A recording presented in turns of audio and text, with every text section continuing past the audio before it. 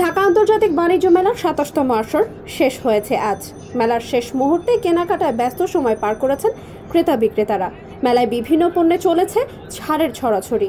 এবারের মেলায় বিভিন্ন পণ্য সামগ্রী নিয়ে হাজির হয়েছে দেশের শীর্ষস্থানীয় শিল্প প্রতিষ্ঠান প্রাণারেফেল গ্রুপ। প্রাণারেফেলের অঙ্গ প্রতিষ্ঠান ওয়াকারের জুতায় চলছিল আকর্ষণীয় ছাড়